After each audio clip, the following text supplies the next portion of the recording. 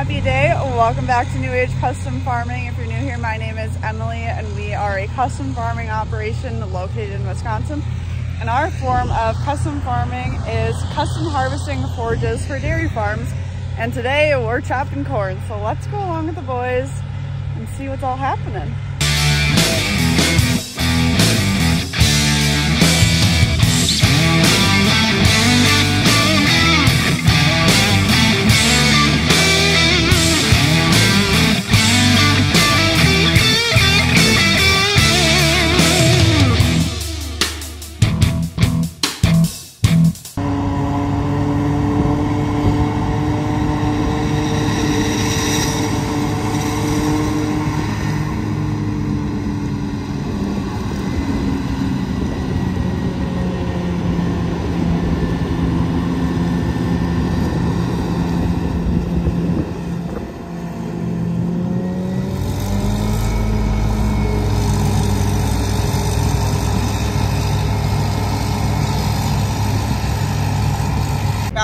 Basically a brand new chopper going up.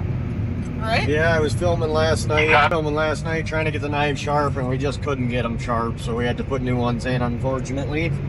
And I picked up like four miles an hour because of it, so I'm pretty happy about that.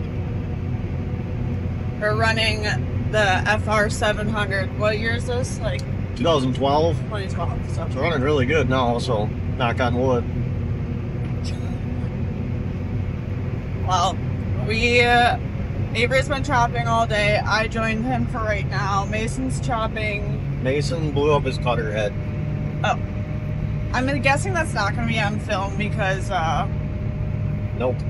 Something, something went through it. I don't know what, but something tore it all up. So he needs a whole new cutter head. so we'll get content of the aftermath of that at some point. Yeah. Um, well, that's wonderful. I did that to this chopper like four years ago. So. At least we got one chopper done. Got some juices going on. Means the corn's wet, according to Avery. Don't mean it's too wet, it's just Wet.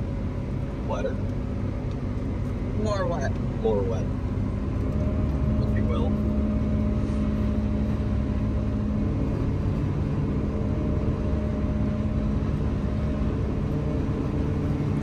This field really varies in height. Yeah, it's a lower level, lower lying field, so you can get into some spots where it got too wet this spring.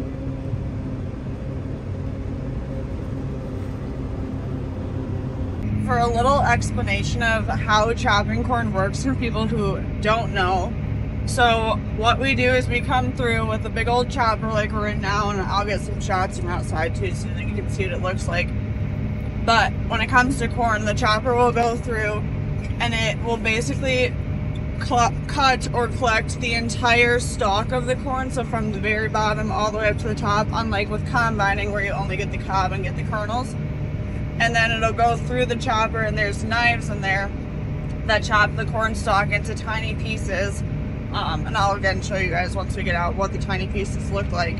And then that will go back to farms that have cattle, and it'll get stored then all winter long or all year long for them to feed their cattle. So, when it comes to chopping, you're using the entire corn plant, not just the corn kernels.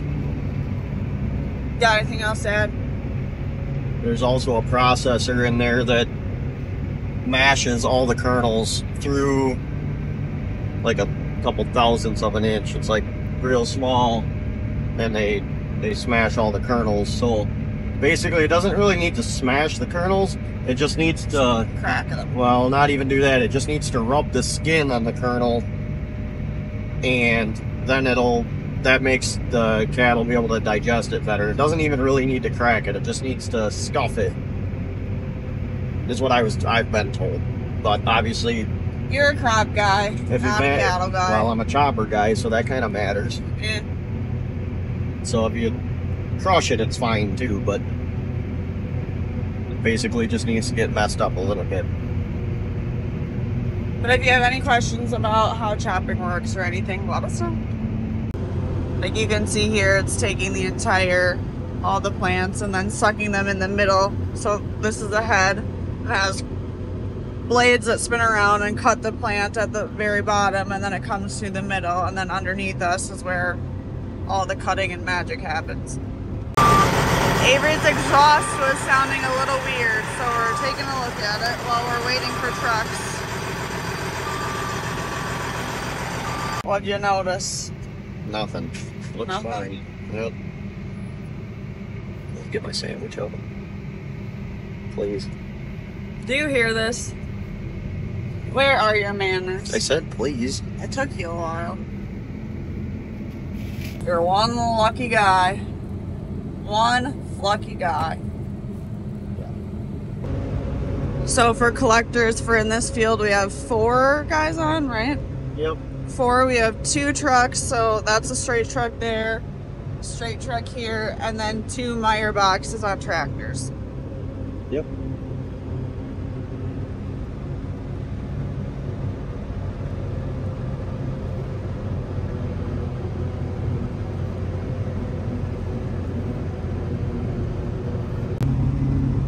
So we're splitting the field right now, meaning there's not like an open side on either side of us.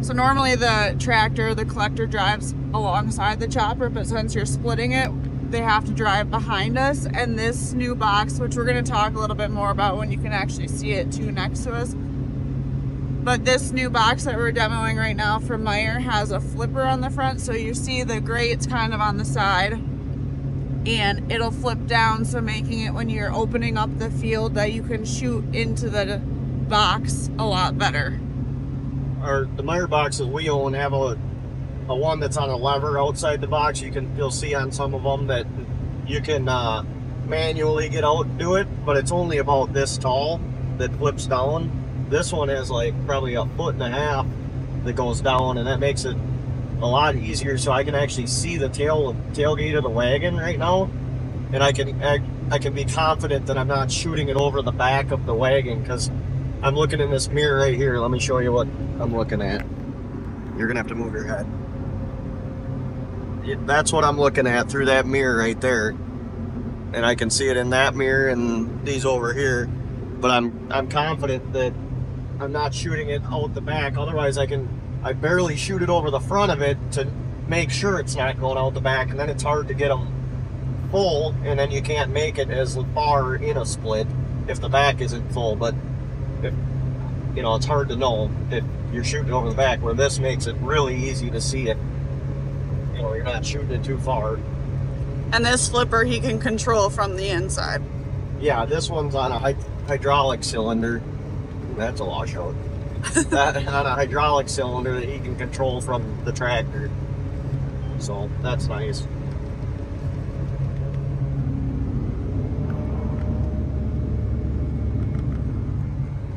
That's the action. i missed it See how the front of it's closed? The black thing on the front of the box is what we're talking about. We'll get a video maybe when we're outside of it so you can actually see it better in action Yeah, we can do a little walk around sometime when we're not chopping. yeah don't forget this There, you can see the cylinder right there on the front of the wagon. See it there? yep That whole front thing flips down. And, and with the manual one, like it's fine, but the guys just end up leaving it down because they don't want to get in and out all the time and flip it up and down. So it's the hydraulic is definitely nice. But we've always said that there should just be a hydraulic cylinder on it because it wouldn't be that hard to do. So and they did it. So that's really nice. Avery's got to fill up some new inoculant. Are you just so happy?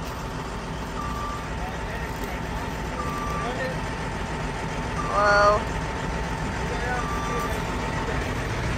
You can see how juicy it is. Whoa.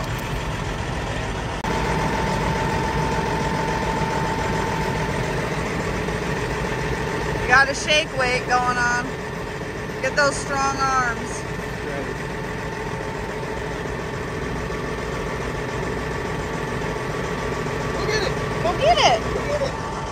Get it. Your corn.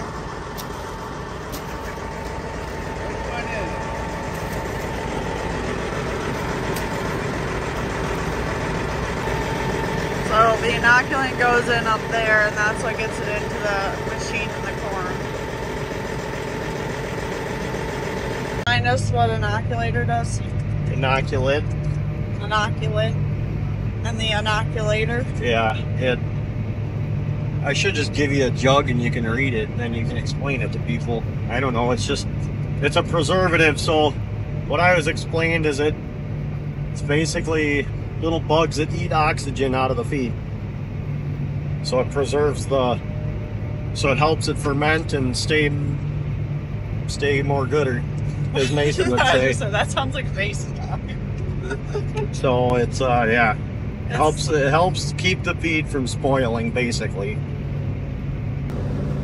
We use these grates on our straight trucks for doing hay or haylage and corn silage because we're able to fill them up higher. And then once we get into shelling corn, we use the straight trucks also for that. But the grates come off the side. The racks. All the racks. Grates, racks, same difference. Bet you people would know, like know what I'm talking about when I Yeah, call it that. I'm not saying they wouldn't. Look at the difference in height and the same. You can see on this older box what we were, well, the mirror's kind of in the way now. There you go. But we are talking about the flip, how it's flipped down and it's just controlled on the outside. You can kind of see it in the front.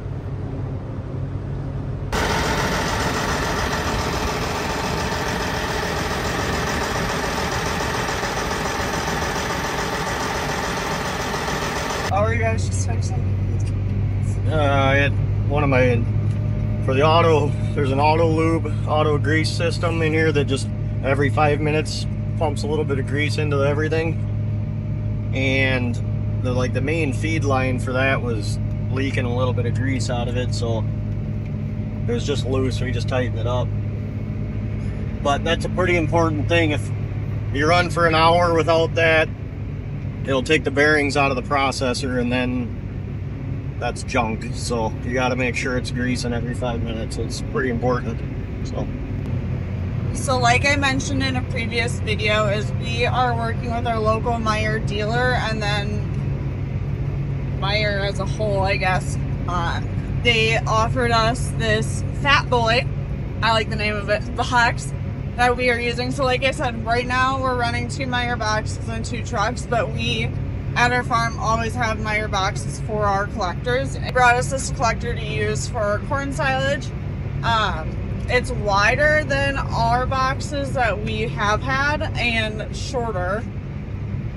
An I Avery. don't think it, it's height wise it's the same, but it's not as long. Length it's Length, okay. It's 4 they're, feet shorter. Like lengthwise shorter, not height-wise shorter is Yeah. what I mean. Yeah. It's uh the wider is definitely nice for filling because you don't worry about washing uh, corn silage over the other side so much. Um, you know, just being that much wider really helps the ease of filling it without spilling anything. And then also being shorter, it's not quite as far to shoot it back as far, and you're hauling the same load. Granted, if it was a 30 footer, we would be hauling more, and that I'd be okay with that too. But it's pretty nice. And then actually, the tailgate on it, I haven't even got to run it yet, but the tailgate on it holds like straight back, so it cleans out a lot faster. Is what I've been told. So it, it runs out, it unloads faster, and part of the reason it unloads faster too is because it's shorter. You know, the chain doesn't have to go around as many times to get it all the way to the back of the box. and The stuff from the stuff from the front all the way to the back. So that's part of the reason it unloads a little faster than our, ours, but it's definitely a nice piece of equipment, that's for sure. And really nice of them to let us use this one. So I guess if you guys are interested, this box is for sale. So I suppose if you went and bought it, then we, we would We'd have to give it up. back. yeah, we'd have to send it back, but that'd be fine. They'll sure we can work with them on another one. So it's uh it's been a good machine though so far. I mean obviously everything new is nice, but it's definitely nice to have. And then one other thing we didn't talk about is it's got ours have them too. You gotta pay attention to what I'm doing here. I can go a lot faster than I am. But uh, it's got brakes. It's got hydraulic brakes, and we've got it connected in the back of the tractor. So when you hit the when you hit the brake pedal, that's when it applies the brakes for the wagon instead of on a on a remote switch like you would unload. But it's also got a hydraulic suspension instead of leaf springs. So there's a little control box in the cab and you can you kind of set the suspension on the first load and then I guess it's pretty much good is what I was told. But yep. But this is a perspective as a chopper driver dumping into it. And like we said, we've used Meyer boxes for a long time. Always use Meyer boxes um, here at our farm. Real full. He's gonna be. That's all. The other nice thing is, with it being wider, you can stack the corn silage a little bit taller. I don't think I'm gonna make it to the end though. No. That is one full load. That his gross weight is probably close to 100,000 pounds. They've got a scale at the farm. I'd be curious to See what it see is. what it is. I should tell him. Just go across the scale and we'll. Just out of curiosity, Kelvin, why don't you go across the scale? Let me know what you weigh.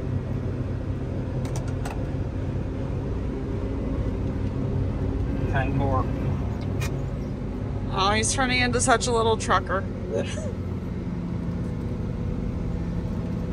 he does a good job. Listening skills are superior on that one, so that's good. Sometimes the kids go, yeah, yeah, yeah, yeah, yeah, yeah, yeah. And then you go, what did you just say? Or what did I just say to you? And they go, uh, said, so yeah, yeah, yeah, yeah, yeah. You didn't listen. You need to remember that too sometimes, I do. I'm not perfect. I'm not saying I am. I can, some days I know my dad's frustration. Oh, Calvin just reported back to us. He officially got a hundred thousand hundred thousand dollars, hundred thousand pounds on that load. Granted, that's the full like tractor weight, his weight. His, yep, his gross vehicle weight. He's going to let us know what his empty weight is, and then we'll know how many tons it holds. Depending on moisture and how much grain is. You wouldn't be, you'd be surprised if the yield, like the grain yield is better, it weighs a lot more because corn is Heavier. a lot heavier than the plant itself. So, you know, that could make a big, pretty big difference on the weight too, which is, you know, it kind of surprised you. Like you wouldn't really think about it, but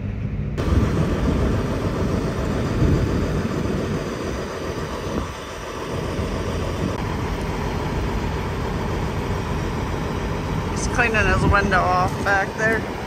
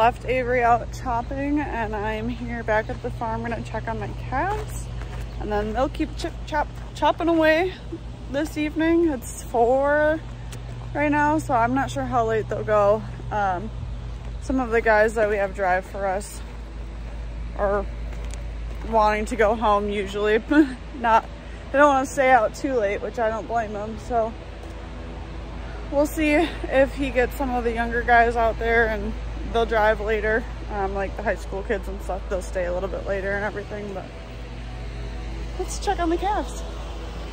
I'm giving electrolytes to a calf, but I'm a little distracted because look at who came out to say hi. It's all the little kittens. Hello, babies. Oh, you're scared? Hi, mama. They're done in. What are you doing? Right now the mixer is cleaning itself, so I have to wait for it to finish cleaning to actually be able to push up the calves. But what I do on weekdays, so weekend mornings is when I come and I push up all of the new calves, make sure they're all used to the robot, know how to drink out of it and stuff. And then on weekday nights typically or later in the day, I'll come in and check on them because my hope is that they have it figured out on how to drink out of the robot, but if they don't, then I'll come and push them up. And then I'm also checking on um, any of the other ones to see if they're drinking and stuff. Are you gonna tube the calf for me? There's one in here that looks really unwell, but it said it during, so I don't know.